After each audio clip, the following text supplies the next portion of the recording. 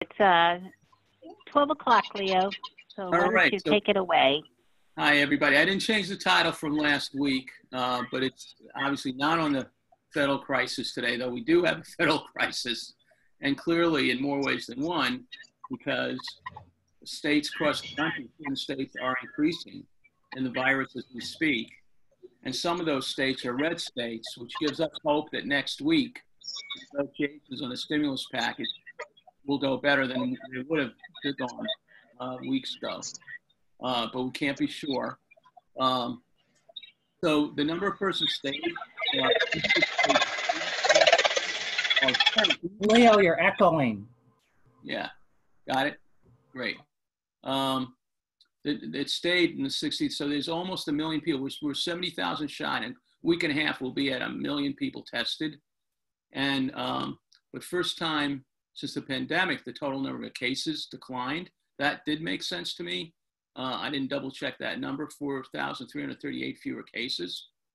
And then some correction was made in, in deaths, but when I looked at another number, the number was um, down further in the charts, uh, was 8,200 or 8,400. So again, fewer deaths. I don't know if you saw the news today, yesterday, um, th- there was the fewest deaths so far in Massachusetts, or or matching, you know, the days that have had the fewest day, deaths. So we're doing very well as a state. Um, obviously, with opening up businesses more this week and next week, um, you know, that might change things. But right now, we're doing better than we thought. And then, of course, the state leaders, Governor and Mary Lou Sudders and others, uh, Lieutenant Governor Polito, they're now targeting certain communities where the statistics don't look as good as other communities and it's Chelsea, Everett, Fall River, Lawrence, Lowell, Lynn, Marlborough, and New Bedford. Um, the other thing I'm going to share with you is I was sort of shocked when I went down on the chart that deaths in long-term care settings were actually 5,258, um, which when you look at the total number of deaths, that's, I, I guess I never saw it quite that way before. Um, I am going to follow up on that number, but it, it blew me away. You know, honestly, it's on a chart. In fact, I think I can share that with you if I'm able to for a second. Let me see about sharing that chart with you um, because it's it's uh, so, so, yeah. Let me let me show you the chart. I'm gonna. Can you see this chart now, or you still see the PowerPoint? Let's hit resume share. I'm going to hit new share and I'm going to show you this, okay? And what I'm going to do is, Yeah, we're, we're still, uh, okay, we're, we're all set now. you see it now, right? So I want to get the Yep, page. we're good. I had the page written down. Uh, this is, of course, the deaths by age group, and that's where you see Brian Cusack on my board had mentioned this earlier this year how um, the average age of deaths is 82 years of age, right? But here's here's the thing: when you get to long-term care facilities, okay. Now this includes staff, probably 5,258. This is the chart I wanted you to see. So when you see the average age is 82, and then you have race and ethnicity, I mean, we're not going to, this could take, you know, all day to go through those numbers, but I just wanted to share that with you. I'm going to go back to the PowerPoint. Um, so it's, it's this, this is why it's so important for us to follow directions because the virus affects different people, different ages, differently. Um, and then you, when you get the PDF, you'll also get the current dashboard where you can look at the, um, you know, the, the in our congregate care system, and you can see archived the past one. So we had the last time they showed you the total deaths, it was 85, and ever since then, the weekly report says less than five. I don't know, you know, obviously I don't know if it's two or it's one or it's four. It's less than five. So I would say we're you know, approaching the 90 to 100 range of deaths in our state operated and provider operated congregate care system. Um, and again, thank goodness it's, it's slowed down remarkably and hopefully it'll, it'll come down to zero. Um, so, and, and as I mentioned earlier, state and federal update, 15th is tax day. So they will, we will know federal and state tax collections. And then next week, we're really hoping to get some serious negotiations. And the fact that the red states are having a terrible time with the virus. Florida had the biggest all time growth this past week of cases. Um, so we have to worry about people living in Florida and other states. Arizona, I'm pretty sure, has had a tough row. So that's that's the sort of recap of where COVID is. And then um, what we really want to do today, and I'm really excited about it. As I said, we were originally going to have Whitney Moyer here, who oversees the Office of Long-Term Supports and Services at Mass Health. She'll be with us next week. Um, things happened, and she wasn't able. Uh, late Friday, she let me know that she could not be here today. Um, so I picked up the phone and actually waited till the weekend was over. I had a couple of different options, and I said, you know what? I'm going to shoot an email to my colleague uh, Jay Lynch, and we're going to talk about families and supports. We're going to talk about the reopening of day services. And um, so let me introduce you to our two guests. Um, uh, and this is a picture uh, from a few years ago, Jay and Jessica. Jessica's not in the picture, unfortunately, but I'm pretty sure. But uh, you know, but Jay um, is accepting award for the team for um, the work they did in family support and are doing in family support and um, the accomplishments. And as you can see, it's a diverse team because the Brockton area is a diverse region. So um, Jay Lynch has been the executive director. Oh my God, I know it's Elise. So Jay, uh, you and I met at City Council Chambers in Quincy, right? City Hall. You came with uh, the former um, Sawyer, Betty Sawyer. Hey, I, I pulled that up. Right, very good. Probably in 82, right? So you were probably executive director by 85, 86. What do you think? Am I off? A, a little bit, yes. I, I became the executive director in 92. Okay, wow. I You were- I was here eight years as a program director. So, and, and, and Jay in the past, you know, was in Vista as a young man, as was his wife. Yes, And, um, and Jessica Gonsalves, who's been working with you for about a year and a half now, Jessica, who Yep. came from the Arc of Great Plymouth. Yep. Yeah. I came from, yep, I, I was at the Arc of Greater Plymouth for almost four years and then, and came here about a year and a half ago. Yeah, and and and uh, I know you work with Kerry and others across the state, not just doing what you do there, but also being part of improving practices for in family support across the state. So I really appreciate your your work on that as well. Thank you, Jessica. And so I'm really pleased. Um, I get to sit in once in a while at these meetings that Kerry coordinates. Kerry's um, and and basically the whole idea is to do what we need to do for families across the Commonwealth. And um, so Brockton's one of those places where I think good things happen. And so I'm really pleased that you were able to join us today as well. Um, so I just, I, you know, Jay, if you want to just introduce the family support, and then Jessica, I think, is going to touch on um, some of the success stories, but also some of what we're struggling with right now, right? Because I think, to me, from our advocacy goals, we've tried hard to introduce more family um, support into the picture.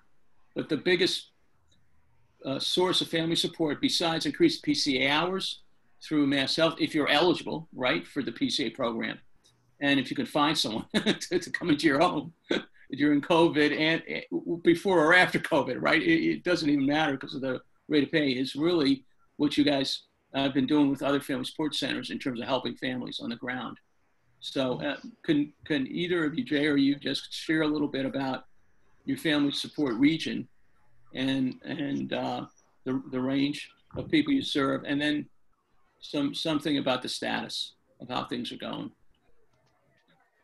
Okay, you want to start? Yep. okay, thank you.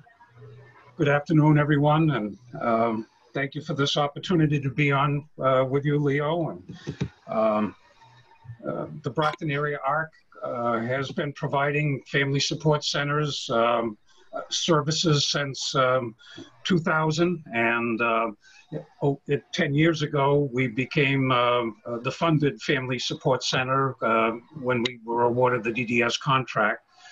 And we serve the city of Brockton and the 10 surrounding towns. But we're not just restricted to um, that geographic area because sometimes we're uh, coordinating with other chapters of the ARC or other organizations because we want to try to reach out to uh, more people when there's an opportunity for uh, uh, a speaker or a training or something along that line. One thing that uh, Jessica uh, has done a great job of is uh, continuing the excellent communication with uh, the, the Brockton area DDS area office, and in particular uh, with the area director, Beth Moran Liuzzo. Um, and so maybe Jessica, you can tell us how this uh, communication has been helping other people. Okay, thank you. Um, so I am in contact, like Jay had said, um, pretty much on a daily basis um, with the Brockton area director.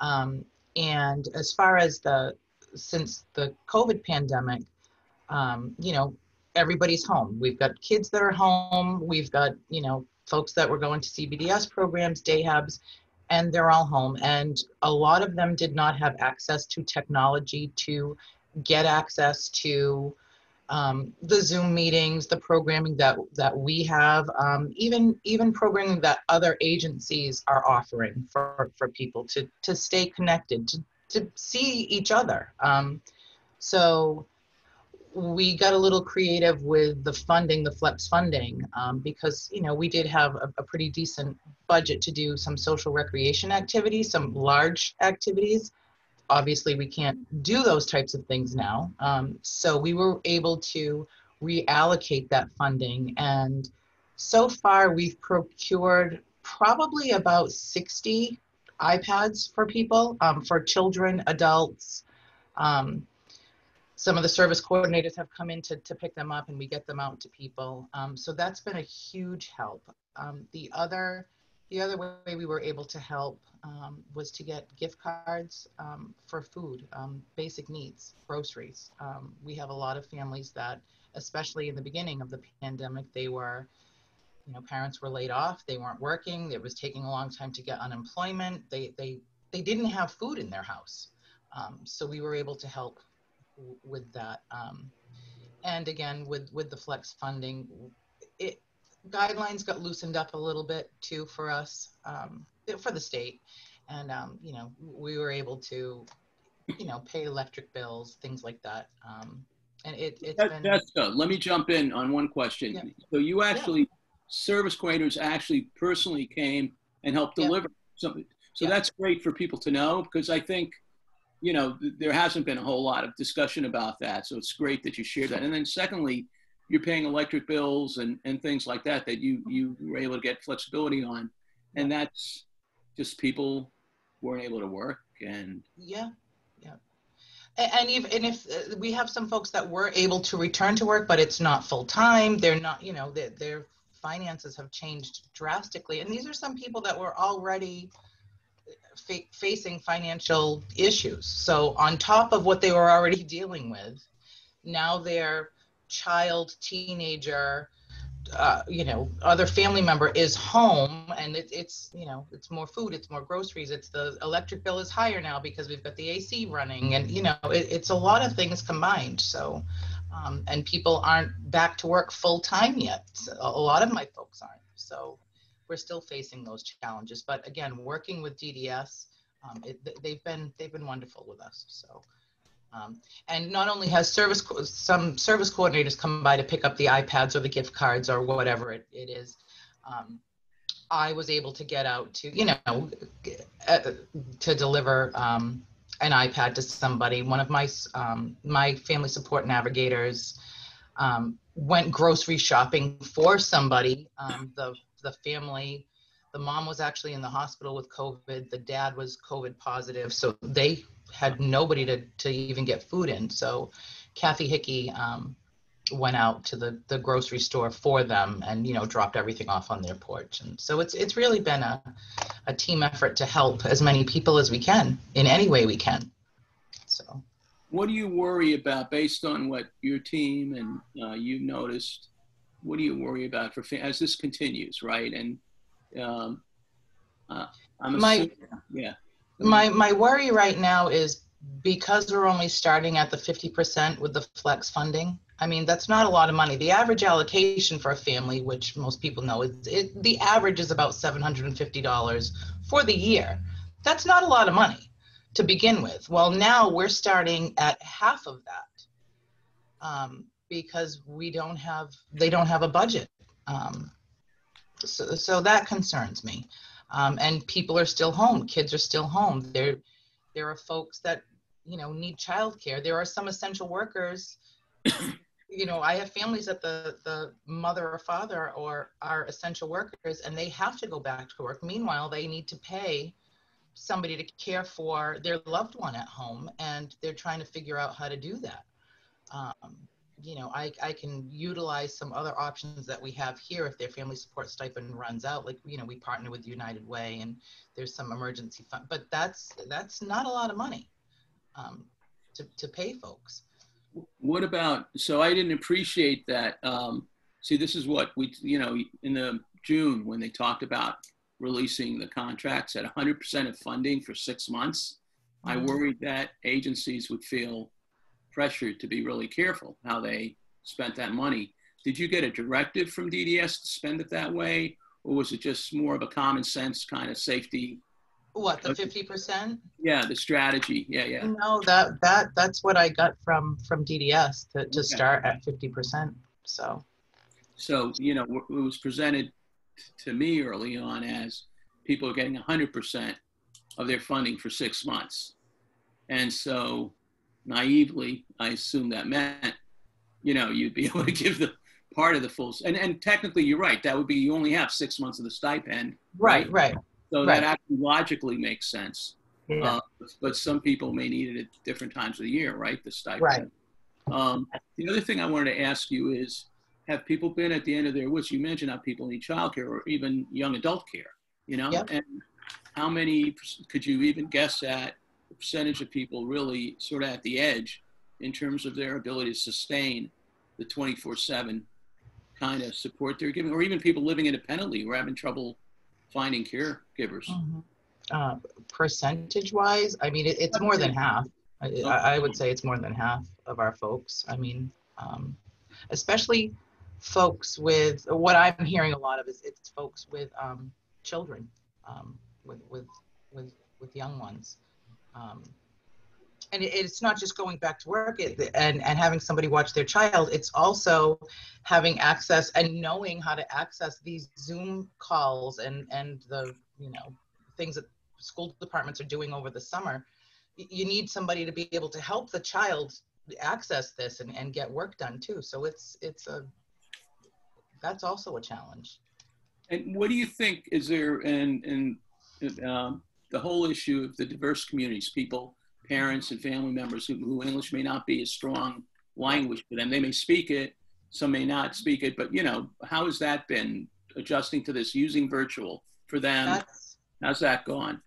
that's been a challenge as well, but I'm lucky to have um, you know my my Cape Verdean um, outreach, my uh, coordinator, and my Haitian outreach coordinator. Um, they have set up different different things where the parents can come together and talk. Um, I, I feel like they're working more than they normally do. It's two part-time positions, but they're they're working constantly. They're answering phone calls at home and on the phone with Social Security with these families because again, English is not their first language and they need help navigating these things. And my staff have been pretty great about doing whatever they can to to help out. You know, um, looking for PCA services, help with Social Security, help with unemployment, um, IEP meetings, all these things. Um, so they do it through WhatsApp. Um, they have a, they have a, my Haitian outreach coordinator um, set up a, a group on WhatsApp. My Cape Verdean outreach coordinator does Zoom meetings with her and FaceTime. They do a lot of FaceTime, a lot of one-on-one FaceTime things um, too. So And so you have some virtual parent groups that have been. I do, I do. Um, it, not just for that, but but also um, we have a connecting caregivers group um, as well. Um, my DESE Navigator set that up for parents, and they, they call it their therapy. So- yeah. But I mean, it, it's nice to hear from other folks that are going through the same thing and have the same concerns and the same worries, like, you know, what are we gonna do here? So, And you know what's interesting? My good friend, um, that's a mutual colleague of both of yours, Ronald Raphael, has always said from the Haitian uh, American Public Health Institute, uh, he's always appreciated working with you guys. Um, so I just want to throw that in there because Thank about you. a year and a half, two years ago, he was telling me that. And um, Thank you. Yeah, just want to share. So you know, Jay and I have a have a our therapy group too. You know, we meet uh, every week with fellow colleagues to, to talk Right. about what's going on. And and Yeah. these days, uh, it's been a lot about last few weeks um, about reopening day services. And uh, I'm going to come back to families and supports at the end of this dialogue because I do think we have a lot of unfinished business in that area for advocacy. So, Jay, I, I mean, I I know that um, it's pretty tough trying to figure this out. Um, do you want to? You do have some services going on, like employment services, and you want to share what you do have that's happening and what you're grappling with. Okay. Well, when we had our primary uh, services our uh, uh, day services, a day habilitation program, and an employment and CBDS program, um, and they have been closed since March 16th. Um, something um, that uh, we learned to do quickly was to take advantage of some trainings that uh, colleagues were doing and um and then our staff that got trained were able to train other people and we were able to uh, initiate teleprogramming if you will uh, remote services. Um, so uh, that was great Uh, in addition to wellness checks on a weekly basis we could uh, uh, and we've continued to develop this over time as we outreach and we speak to more and more people over the course of the week, the question always comes up, when are we going to reopen? When am I going to be able to come back to work? When am I going to get my next paycheck and things like that? Um, so there's so many more questions than there are answers. Uh, and, and, and that's been a struggle for me personally, uh, still is. But as all of these questions started to come up, and even thinking about reopening in some capacity. Um, I had a, a, brainstorm and I said, I can't do this myself. So I recruited a team um, of individuals and staff members and board members and parents. And we've been meeting on a weekly basis, even if it's just to ask each other the questions that we're going to need answers to. And through that um, team, we started to come up with some answers about what we might be able to do and taking some small steps towards reopening. Uh, recycling is considered an essential business, and we were hearing from the Department of Environmental Protection about um, maybe you can uh, reopen your redemption center because they're getting lots of calls about it being closed. So we started looking at that first, and and then we started make listing all of the people that were saying they wanted to come back to work. Then the next step was to communicate with their families and their guardians, and and then try to put all the other little pieces together. How are we going to do this safely? And that's where the staff. Um, came into play. We developed these plans and we tried them out, staff only, step by step. How are we going to do this? How are we going to uh, manage that? What's the uh, procedure going to be? Uh, what do we need to be aware of?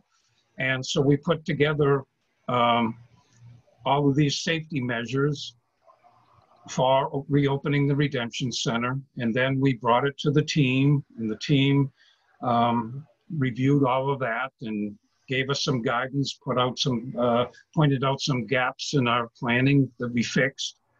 And then uh, we started doing real baby steps. Uh, we opened one day for redemption um, just to see how that would go. And now we've uh, got a very part-time schedule. Uh, We've been adding individuals to the schedule to work.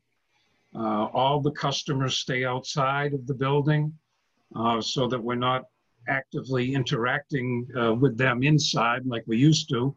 Um, The families have come and observed um, to see that their um, son or daughter is learning um, about wearing masks and the importance of that and social distancing. So it's been all of these steps coming together. Lots of tr- staff training, lots of training for the individuals. When any- anybody comes for the first time uh, to return to work, uh, they they receive training and all of the safety procedures that we have in place. Um, and um, and then we've been able to put all the other little pieces together for transportation. In some cases, we're providing the transportation. In most cases, the family's providing transportation. In some instances, we've been able to use Dial-A-Bat, uh, the paratransit provider here in Brockton, and, and make arrangements for there. But um, all of our hand washing and cleaning and sanitizing and social distancing and mask wearing and personal protection equipment, all of those things had to be considered just to do that. And now, since uh, the EOHHS guidelines were released on July 2nd, we're trying to uh, create plans that will allow us to reopen our day programs for those individuals that want to return and feel that it would be safe enough if we have the, all the, uh, the steps and measures in place for them to return. So that's where we are these days, Leo. The, the 20 pages of, pages of guidance from the OHHS is, is daunting. Um, um, I heard somebody um, describe it as an exhausting read, and uh, that's the perfect description of that. So we're trying to break that down Now, piece Jay, by piece. and- Jay, you- you're exaggerating a little. I know it's a 28 page packet, but I think it's mainly 26 pages that you have to. Okay. That's not a funny joke, is it to you? I'm not. So, so seriously though, back to being serious, because it is, it, people should understand that was July 2nd, and then technically you could have opened on July 6th. So it wasn't going to happen on July 6th. How many Right. weeks has the Redemption Center been open? When you, Uh, even that first trial day, you know, starting, Right, that was um, towards the end of, of May. oh, And wow. we've been, we've been building um, since then. Wow. Okay. So you have a lot of experience. Right. So now we're open Mondays and Wednesdays from 9 AM to 2 PM.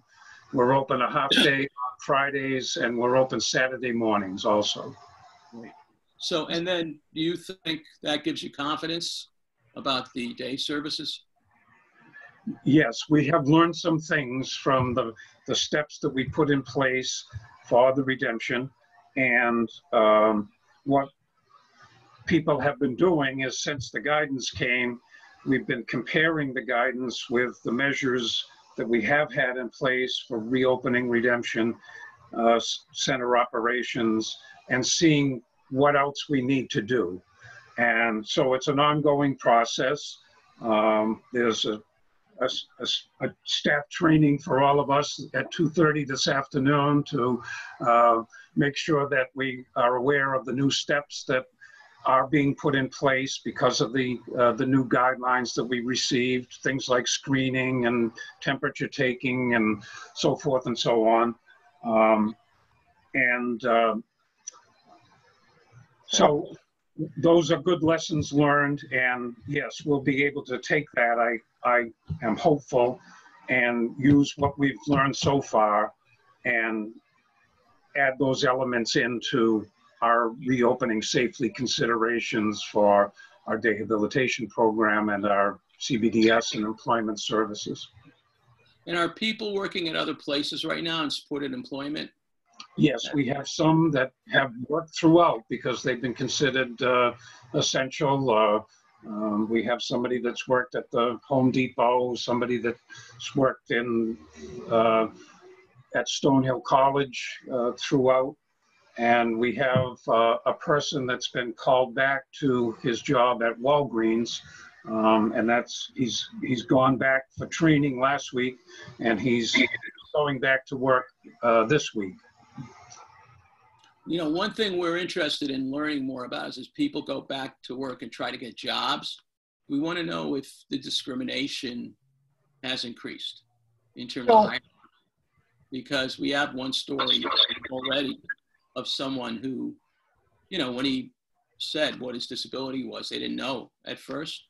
Um, the interview pretty much stopped.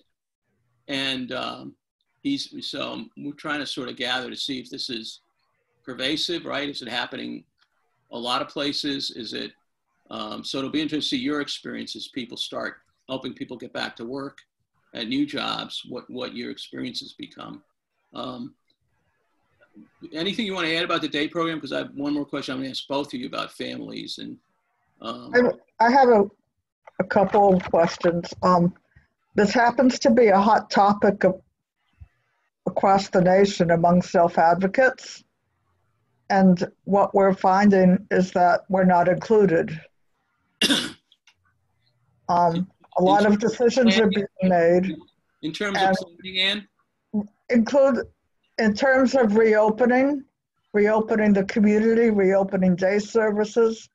Of course, people want to go get out of their homes, but people aren't being told the risks. A lot of people are afraid to go out because of the risks. Um, a lot of people don't know the risks. So are you, are you telling the people, the individuals coming into your day programs, the risks of traveling in a van, um, the risks of being near each other, even if it is social distancing. And it's their human right to know the risks of going back into the community. And do they want to take that risk? Yes, you're And do right. they have- And do they have fears? Because in talking in other groups to people, they have a lot of fears of coming, coming outside again after being um, inside for such a long Yeah, time. so- Some so- of them are just being told to Yeah. go back to day services rather than being at home, even if it is for a reduced time or just a couple days a week, a week instead of every day. So let, Ann, let's let Jay answer two of those questions. I don't think you can answer Sure. one. How about number one being, um, you know, how do you, how are you planning to warn people? But also, didn't you say you had people involved in the team for planning the redemption center? Or did I miss, did I? Yes, we've included people that, uh, uh, that participate in our programs on our team. And one of the people is also on our safety committee, so that, um, that was a good thing for her to step up and offer to be part of the team. But yes, we have not uh, asked anybody to come back that, um, that has objected or or voiced any, any fears about returning. Uh, We've taken the time to uh, explain things with each person that's expressed interest on returning so far. um, Educating them as to uh, what the risks are, um, what the safety measures are, um, and what the, uh, uh, and begin the training even before they get here. Uh, sometimes we've done remote trainings um, so that everybody has an awareness of how um, difficult this COVID 19 situation is and how contagious it can be. Um, we- there's new measures in the guidelines and too that are making us take additional steps. We've surveyed all of the people that we serve that we could get in touch with. And we've been told some people are interested in returning, others not at this time. Others need a lot more time before they'll even consider it. Uh, people want to see what safety measures we put in place. So we're developing a training video so that we can demonstrate that to people. Uh, we want them to make uh, uh, the, the best uh, decisions they they can for themselves, um, and without you know feeling any pressure that um, we need them to come back or we're we're pressuring them to return. The, the uh, risk benefit tool also DDS added Yes. right the package. Yes, thank you. And that'll be our Yeah. next step. After having surveyed everybody, we're going to institute uh, that uh, risk benefit tool beginning in this, this week. So I want to ask uh, Jessica, if you were to wave a magic wand and say to me, what else could we do for family, advocate for in terms of the situation that either individuals living on their own field or families that, given your experience with the outreach, what would it be? Right now, um, what you had mentioned before, uh, uh, getting help with getting PCAs in the house, um, that's huge. Um, on, on all levels for children, teens, young adults, our older folks. Um, that's one of the greatest ones, the child care. Um, and, and more, more funding. I mean, I, I wish the state, I mean, I know, I know it's, they don't have it, but I, I wish they would kind of figure out what is going on so that we know what to tell these folks. I mean, I'd rather tell them we're working at 50% and then hopefully be able to get them more funding uh, for the next six months. Um, you'd always rather do that than say, hey, you've got 750. Oh, sorry, now we have to take that away. You know, you, you never want to do that. Um, so, yeah, I, I really, I really hope they figure out what they're going to be doing for the year. And I'm sure everybody feels the same way. Um, because we have a lot of families that are nervous about that. They, they depend on this money. So, And, um, okay, excellent. And then I just want to open up and ask the question, but I wonder if there's other people in the chat, Kerry, or if people have any other questions they'd like to ask. Uh, I don't want to eat up all, I have more I could ask, but it's, I'm nervous because we've got about seven minutes or so left. I don't want to hog all the time. Nothing, uh, nothing in the chat, Leo. Okay. So one of the other things I want to ask about in terms of the service system, um, when when people were surveyed, um, did you what percentage of people said they wanted to come back, Jay? Do you have a sense of that? Yes, it was, it was more than 60%. Wow. Okay. Wow. And then there's, there's people that are very interested in uh, continuing with the remote services, the teleprogramming, and coming back on a part-time basis. So I've heard this referred to as hybrid kinds of services now, you know, a combination of in-person and remote. Okay. And so we're going to um, try to be, put that together and, um, and continue that, uh, to develop that as we go forward. And we're hopeful that that's going to be something that's uh, allowable in our, you know, funding contracts. And and to what extent the fact that you have a family support center, uh, and both of you can answer this. To what extent was that like critical in terms of serving? If you didn't have the family support center, in terms of understanding what was going on, um, how did that make a difference in your ability to respond as an organization? early on, Leo, uh, you know, as we're making things up as we go, we have to cancel for March 16th, but I called the program directors together, and by the end of the week, I had this new idea. I want the program directors and the case managers to do wellness calls to everybody that we serve in the day programs. And I put together a list of uh, questions, and we thought of other things, you know, let's find out what technology they have or don't have. But what what what needs might the family or the person be experiencing when you speak to them? Please ask. And every time we would get a response, I would give it to Jessica, and Jessica and the Family Support Center staff would figure out how to respond.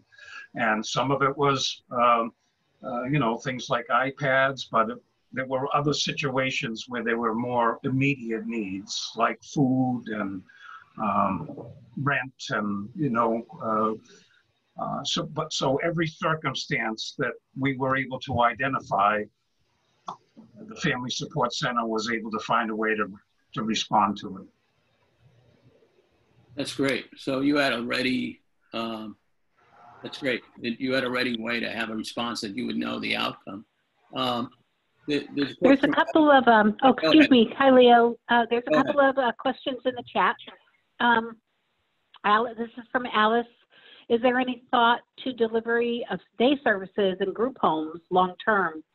This crisis kind of highlights how much time our loved ones spend in transport and transitions, which are difficult for them.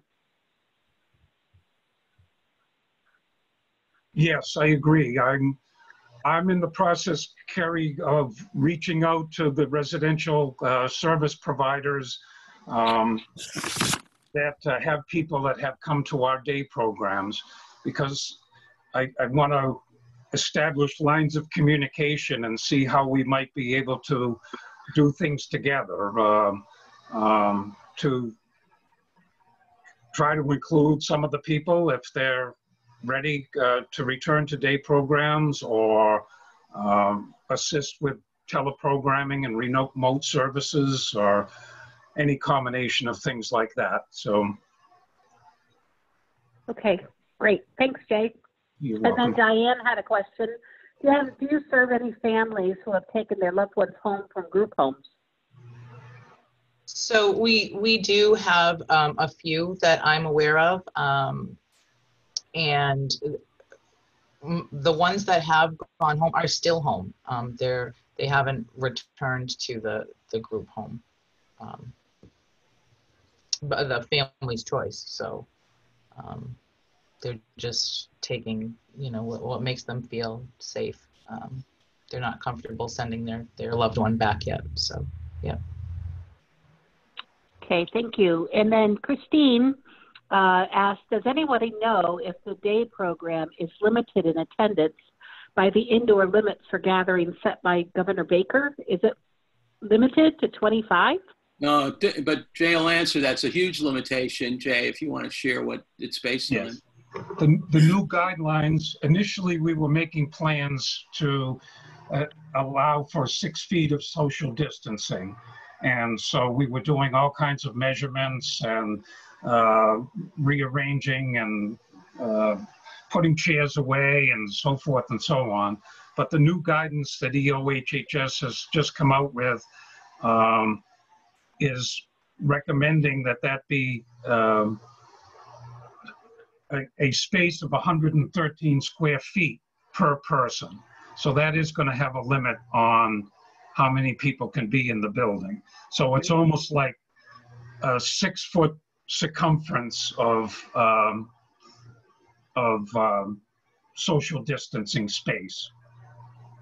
Yeah, so, so it's like maybe for 113 square feet. so it might be a 50% impact. Is that fair? Uh, I think it's going to we'll probably be less than 50. Yeah, probably 35 percent. Your capacity is going to be 35% of what it was? Yes. Okay, wow. Yeah, and, and someone just mentioned that sounds like nine square feet. Um, it's it's 100, so 36 square feet is six times six, right? That's what I was taught in school. But uh, um, but clearly 113 square feet is, uh, you know, Right. maybe it's bigger, more than nine feet. I don't know. Elizabeth mentioned. Well, it's a circle with a radius of six feet. Or- Yes. And So- our, our colleague Al was quick enough to calculate that in his head. So that was awesome. Yeah. Well, this has been great. I, I, can't thank you enough. I'm, I sometimes let it go beyond schedule. I'm not going to do that. I'm going to uh, call it a session. I really, you know, short notice you got on, which is awesome. And uh, and basically, I was very, you know, really pleased about what you were able to share. Um, thank you for doing it. I knew I could count on you guys to, you know, knock it out of the park. So this is a tough time. It's really it's challenging for all of us. It's hard to believe it's July. I said in the beginning, and uh, it, it doesn't feel like a normal July, right? So hang in there. Thank you for all you're doing, Jessica. Thank you, Jay, for all you're doing, and everyone on the call. Hang in there. Thanks for the ways you're contributing as well. And um, Tuesday and Thursday, Tuesday, Kerry, what's going on? Well, she doesn't hear me maybe, but I can tell you later this month, whatever the Tuesdays and Thursdays are at 2 p.m., um, we're going to have, I think it's next week, Rachel Hrovat do a trauma informed care presentations, and we'll be promoting that this week. And this one's going to be recorded, so we'll be able to share it with people even after, because we have been through a traumatic time, and um, and hopefully that'll be another contribution besides the webinars happening this week. Everybody have a great, great rest of the day. Thanks again, Jay. Thanks again, Jessica, and all my. You're welcome. Thank you. You're welcome. Leo. Bye. Bye. Thank you. Bye. Take care. Good job.